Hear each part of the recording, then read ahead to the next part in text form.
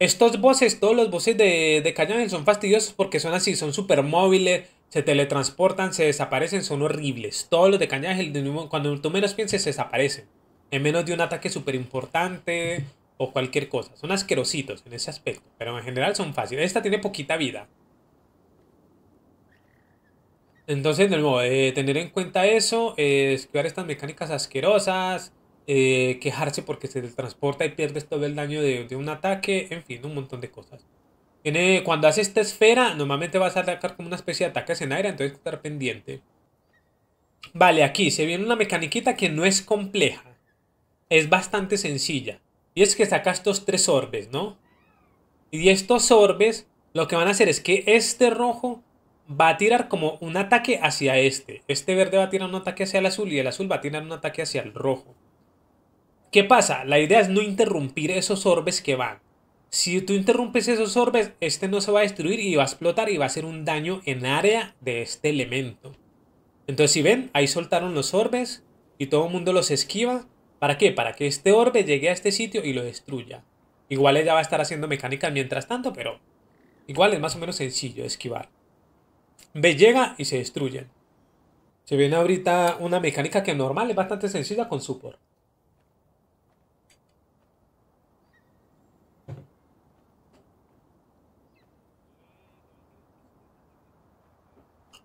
No, no me quejo, no me quejo, solicito, eh, no me quejo.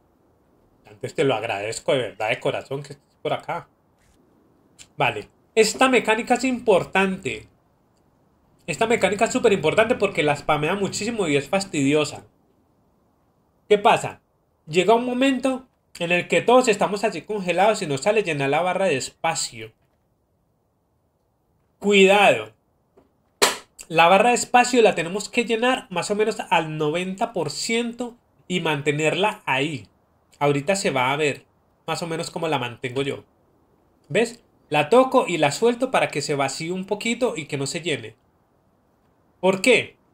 Porque va a salir, van a sacar ondas blancas, pero en el momento en el que salga esta onda negra que se ve, hay que llenarla.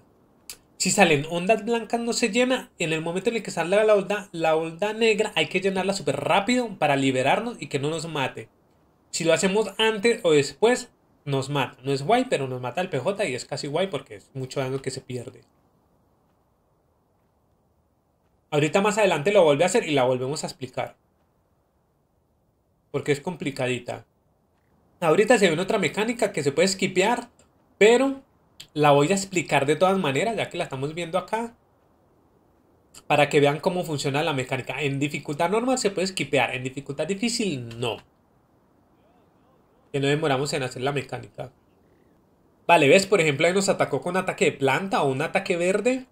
Y todos estamos marcados. Ese, ese ataquecito se puede ver aquí encima de la barra de mana, que es como una especie de bufo que nos va haciendo daño constante, pero poquito.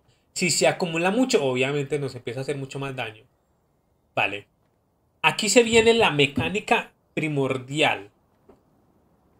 Lo ideal es que, por ejemplo, si tienen, si tienen un bufito así encima, se lo quiten. Ya se lo pueden quitar con panacea, se los puede quitar un soporte o se lo pueden quitar entre todos con el, con el Sacred Charm o el amuleto ese rojito que se ve abajo que tengo yo la puerta número uno. Aquí se tienen que posicionar en este orden que van a ver ahí en el mapa, que es a las 11, a las 6 y a la una.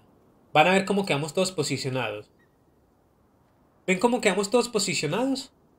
Vamos a estar posicionados en la posición, eh, en la, la, la puta redundancia, vamos a estar posicionados de modo que quedemos entre, entre Prunia y cada uno de los orbes. ¿Por qué? Porque ella va a tirar un orbe hacia cada uno y nosotros lo tenemos que interceptar. Y se va a ver acá cuando lo tome. ¿Ven? Ahí lo tomamos y recibimos el daño, obviamente, y quedamos con la marca. En el momento en el que tomemos ese orbe, nos movemos una posición en el sentido contrario a las agujas del reloj, es decir, como que dice hacia la izquierda. Entonces, ahí se ve que me golpea y me empiezo a mover hacia la una. Me quedo acá para interrumpir el próximo. Tomo ese orbe, ahí se ve que me golpea, vuelvo a rotar, para esperar el próximo. Los support aquí, los soportes acá tienen que tirar ultis y, y curitas y lo que sea. Pero cuidado con dispelear. Una vez que empieza esta mecánica, no quiten el debufo porque si no se va a morir alguien. Entonces, una vez empieza esta mecánica, solo escudos o curas. Pero nada que te vaya a quitar ese bufo que nos está poniendo. Porque si no, se va a morir el PJ de una porque va a recibir el daño a los Pokémon. Entonces seguimos rotando. Se sigue rotando. Se sigue rotando de la misma manera. Recibimos el golpe, recibimos el orbe, tiki tiki. Listo, va a llegar un momento en el que ya no va a hacer más eso. O sea, es decir, esa parte de la mecánica va a terminar. Y se va a tomar una posición, ¿ven? Bajo ella va a salir un color. En este, en este momento saco el color azul, que es como el agua. Y significa que este es débil ante el verde, como expliqué al principio, ¿no? Entonces tenemos que ir todo rápido a romper este verde. ¿Qué pasa si acá abajo saliera el color rojo? Pues como el color rojo es débil ante el azul, tenemos que rápido a destruir el azul. Y si saliera bajo ella el color verde, tendríamos que ir rápido a destruir el rojo, porque el rojo digamos que tiene la ventaja sobre el azul. Entonces en este caso, como ella muestra el color, bueno, hielo, lo que sea, agua, lo muestra el color azul, tenemos que ir todo rápido a destruir el verde, porque es sobre el que tiene ventaja. Es decir, el verde tiene ventaja sobre el azul. Entonces necesitamos ir rápido al verde, para romperlo. Porque ella va a tirar un ataque súper fuerte en área de color azul que nos puede matar. Entonces, al tener este, al romperlo, tenemos nosotros el debufo verde. Este debufo verde lo que va a hacer es tanquearse, aguantar el ataque azul. Entonces, estamos en verdecito, nos tira el ataque azul y ya está. Gracias a que teníamos precisamente este debufo verde, por ser el verde ventajoso sobre el agua, lo sobrevivimos. Eh, normalito, ¿no? Los que sepan de Pokémon, definitivamente los que sepan de Pokémon, esta mecánica eh, facilita de aprender. De nuevo, de nuevo otra vez la mecánica del espacio, la que les explicaba ahora. Se llena rápido al 90% de la barra de vida, ahí se ve que trato de mantenerla, no la lleno. Sale de nuevo de primero la onda negra, entonces ahí mismo lo lleno. En el momento en el que vea la onda negra, ahí mismo lo lleno. Si es blanca, no. Como se liberen en la onda blanca, van a, van a morir. Tienen que liberarse justo con la onda negra. De nuevo, las esferas, las esferas de cada color, va a soltar un orbe. Hay que permitir que llegue a la de abajo. Pueden hacer un poquito de DPS, pero tengan cuidado de no destruirla.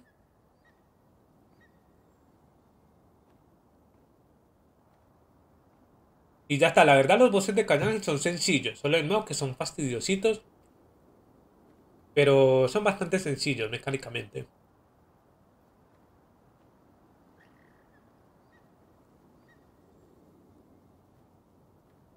Ahí simplemente se le sigue pegando. En esta partecita, en esta raya, este man se cayó mucho rato. Creo que se vio y dijo, ah, se me fue la luz. No pasa nada, tampoco vamos a estar aquí a, a insultar. Hay momentos. Estas son las mecánicas que les, puedes, que les puedo explicar de manera sencilla si les gusta conterear. Porque esta mecánica donde empieza a sacar un montón de orbes azules así significa que dentro de un momento ya va a tirar un counter. Hay que tirarlo lejos, ahí se viene el counter. Pero es difícil porque la... Bueno, porque cayó justo ahí en el frente, pero si ven que tiró el counter y da tiempo. Me dio tiempo para esquivar y pegarle.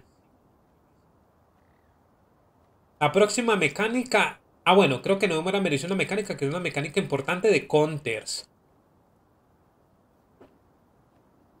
Como ya ahorita está posicionado sobre las 6, vuelvo a las 6. Va a salir un caballero. Allá le va a salir una barra de. Allá le va a salir una barra de sumisión de Stagger y van a salir caballeros.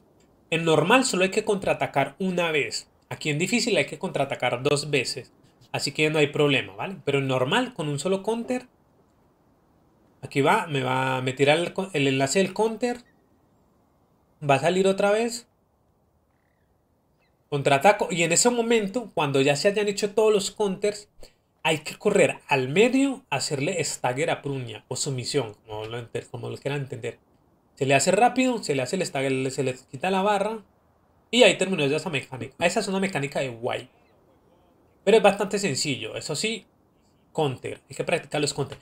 Vuelve a hacer otra vez la mecánica del espacio. De nuevo, se llena tranquilito hasta el 90%. ¿Ven? La primera onda, esta vez sí varió y la primera onda es blanca. No se llena la barra. ¿Ven? Ahí no la lleno. La mantengo al 90%. Otra blanca, otra onda blanca, otra onda blanca. Y ahora sí, en el momento en el que sale la onda negra, ¡tin! Ahí sí lleno la barra para liberarme. De nuevo, si lo hacen antes, es F. Ahí va a salir lo mismo. La próxima... La próxima mecánica es más o menos por las 20 barras de vida.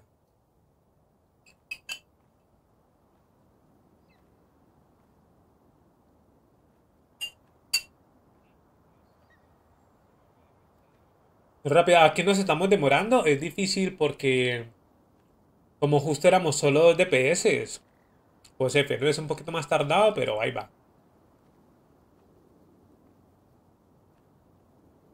Súper sencillo, estas mecánicas obviamente es como lo típico en Ramón, ¿no? Ahí dice peligro, pues simplemente no se queden ahí.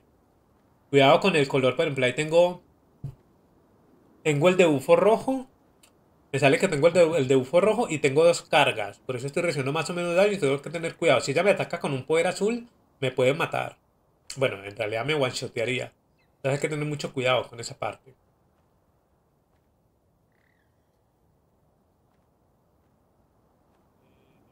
Vuelve a hacer la misma mecánica para avisar que se viene counter.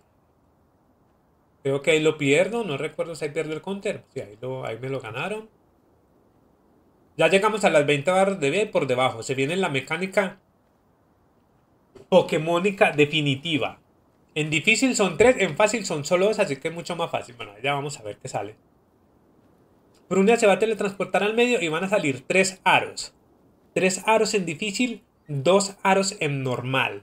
Vuelve otra vez lo pokémónico. Los aros no van a tener siempre ese orden. En esta ocasión, el del centro salió azul, el otro salió verde y el último salió rojo.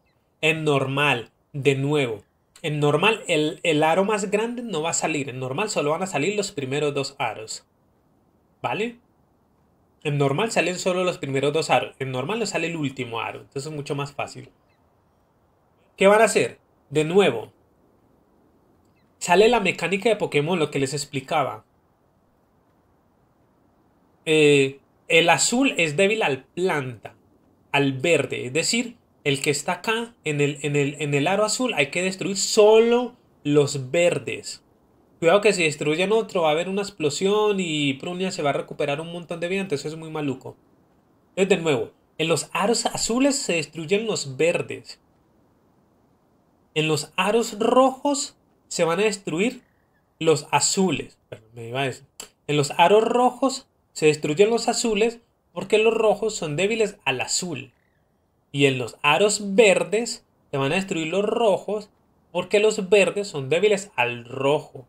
¿Ok? Azul, débil a verde, verde, débil a rojo y rojo, débil a azul. ¿Ok? Nuevamente, azul, débil a verde, verde débil a rojo y rojo débil a azul. Aquí vemos cómo destruyó este, luego destruyó el rojo y efectivamente luego destruye el verde. Luego, aquí faltaba este rojo y faltaba este verde, se destruyen. Y ya está. ¿Ven que no se destruyen otros más? No se destruyen otros orbes, solo se destruyen los que tocan. El verde, el rojo y el azul. ¿Ven que, ah, que aquí hay uno verde sobre el rojo? No se toca. Solo se toca sobre el que tenga desventaja. Ahí pasa bien. Si se hace bien, Prunia no se va a curar, que en este caso, como se hizo perfecto, no se cura y podemos seguir haciendo daño. Y ya no vuelve a hacer más nada. Bueno, vuelve a hacer esta mecaniquita otra vez asquerosa. Nos volvemos a llenar al 90%. Si es negra, ahí mismo nos vaciamos la barra. Nuevamente, bueno, ya le quitamos las 10 barras de vida. Facilito. Es lo único. De nuevo, si les gusta Pokémon lo hacen súper fácil. Si no, pues les va a tocar... Eh, les va a tocar aprenderse prácticamente la tabla de tipos, pero de manera básica.